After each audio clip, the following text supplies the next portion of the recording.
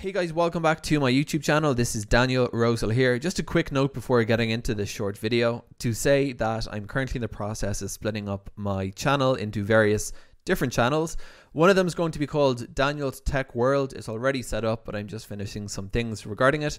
And that's where you're going to be able to find going forward videos about Ubuntu and Kdenlive and other topics of that nature. So now let's get into the actual video. Okay, in order to manually set the link speed on your Ethernet connection in Ubuntu, you want to go down to the bottom right of the corner and click on Edit Connections in your Network Manager GUI. Then you're going to want to find your internet connection and click on the settings cogwheel. If it's not there, then you can add it by clicking on the plus symbol and creating an Ethernet connection, but it's here. So clicking on setting on the first page, you're going to be taken to the main ethernet settings. And this is where you can change things to manually set a static link speed for this ethernet connection.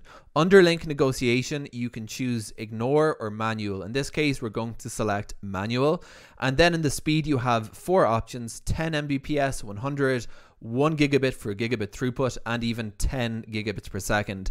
And you can also manually set the duplex between full and half. Click on save and those parameters should be saved and you've now created a manual static link speed for this ethernet connection in your Ubuntu computer.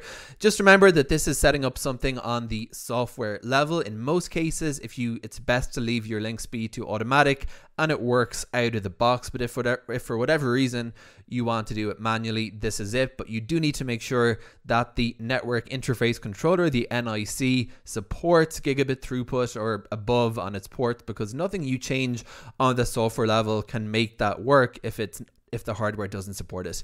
Thanks for watching this video. If you want to get more videos from me, feel free to subscribe to this YouTube channel.